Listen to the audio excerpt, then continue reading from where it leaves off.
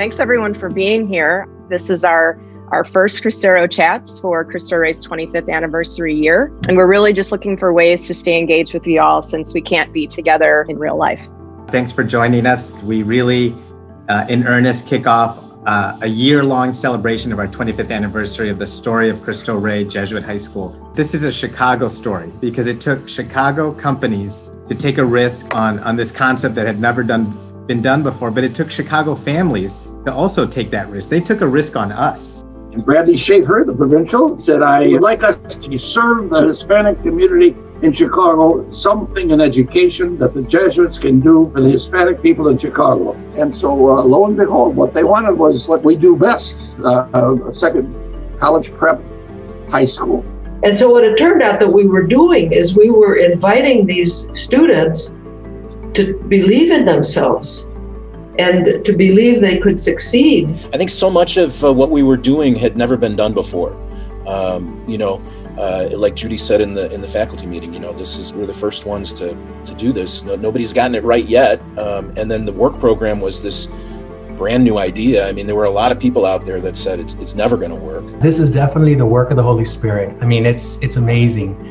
And the reason why I tend to be uh, willing to do something new and adventurous and like, yeah, let's try it out. Why not? It's because I got it from all of you.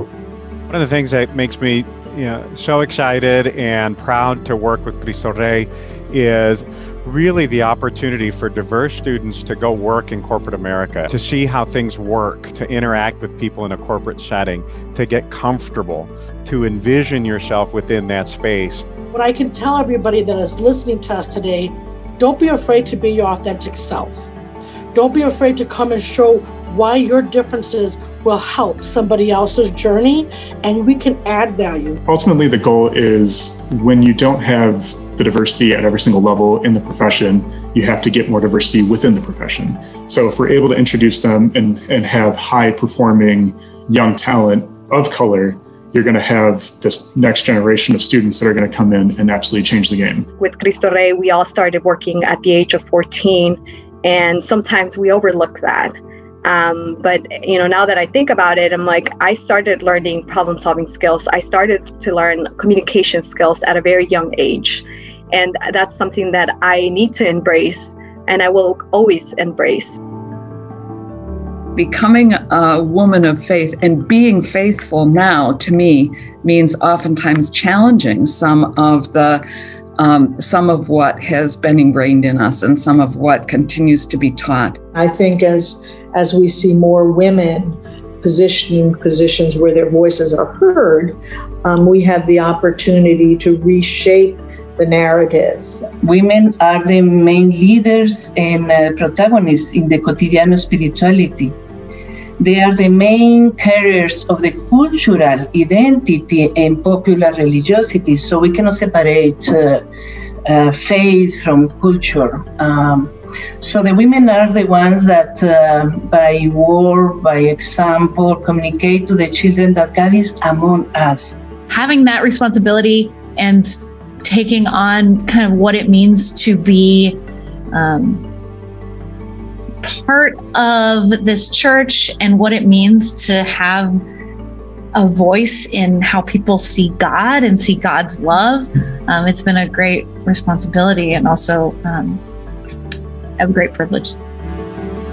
One of the components, I think, of Ignatian volunteerism is a sense of community, um, be it your own community or your, your JV community. Being part of the Cristo Rey community, it just is just one of the most positive experiences I have had. I feel like CR, uh, they kind of plant something in you without even knowing about it. Uh, and I feel like the religious component was what they uh, planted the most. So coming back to Cristo Rey sounded like a an amazing thing to do um, to come serve to students uh, who were once like me. For me, it wasn't until I got to Georgetown in doing a social action project that I realized the importance of the values that I had learned at Cristo Rey, not knowing how they were going to impact me at the time, but now here, you know, years later, um, kind of saying, well, yeah, I am a man for others. I would not trade those two years for for anything. It was in practical ways. I feel like the time I spent at Cristo Rey was um, the the greatest training I could have ever hoped for for a, a professional life, almost of any kind. It was amazing. I, I love that kind of analysis of like you you are not the same you wouldn't have been, become the same person had it not been for Cristo Rey. And I think a lot of us can say that, those of us who are affiliated with Cristo Rey in some way. I am thrilled to be back here with my Cristo Rey family. How do we continue to invest in students learning about these opportunities, right? So, either to get a master's degree or to get a doctoral degree. Um, because in order to change institutions, we need to have more Latinx professionals uh, at this level and also um, at the professor level. When um, some departments ask me, Do you know any incoming freshmen? That might be beneficial to working in our office. And I'm like, yeah, for the students from a Cristo Rey Network School, they already have the corporate work program.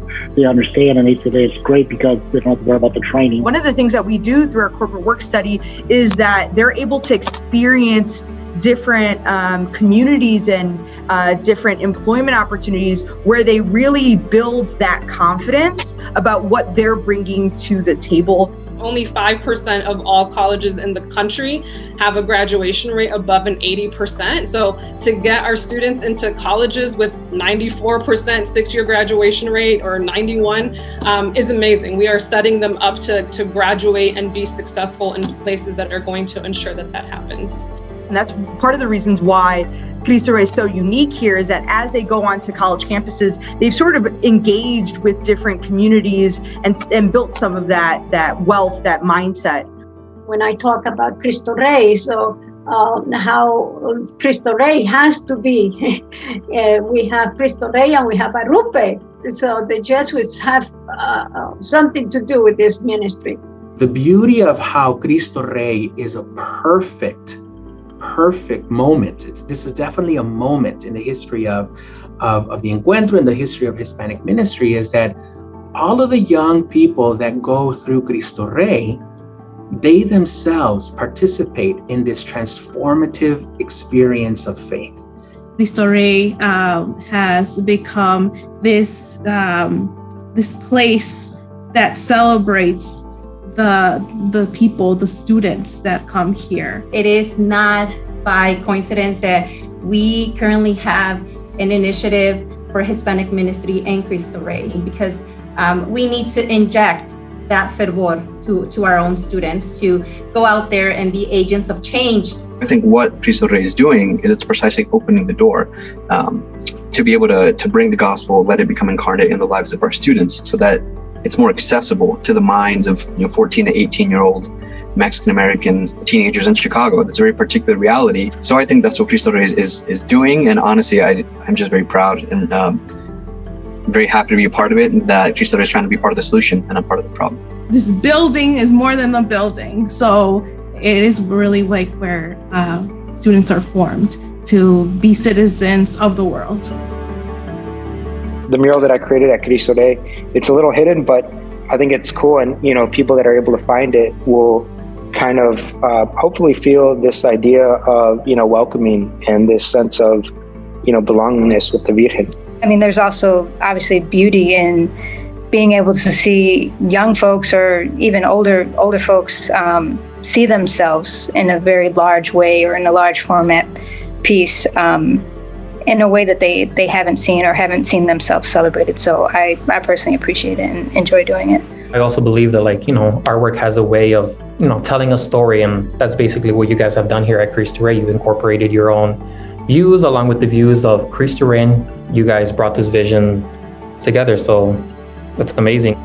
Art can can translate and be able to tell that story of a struggle um, better than you know just kind of reading an article. You know, it's, it captivates people a little bit more, and it it's um, a way for to grab people's attention. And if we could use that, um, you know, vehicle to you know basically move a certain message across and and try to promote you know positivity, then for sure, yeah, we'll do it. Thanks everyone for being here today. This was a great conversation. Thank you for this. This was a lot of fun. I do believe this is only the beginning right, of the conversation. Gracias, muchas gracias. Each one of those questions that we tried to address today could be a course at CTU or could be a course at Dominican. And so what we tried to squeeze into a short amount of time um, is a lot. But I, I want to thank you. Everything just goes back to Cristo Rey as well. So I'm really grateful. Thank you so much, and thank you for for sharing your story. We know it takes a village, and so it's great to see the village present today. I'm bowled over. I'm bowled over. What what expertise, what enthusiasm, what wisdom. The world is a better place because of what you're doing, and uh, God bless you. COVID has changed all of us in a lot of different ways, and it's going to continue to change us. But I just want to reassure everyone on this call that we are here to stay and we're going to grow. And it's because of you that we're able to do everything that we can do for the students that we educate. So thank you.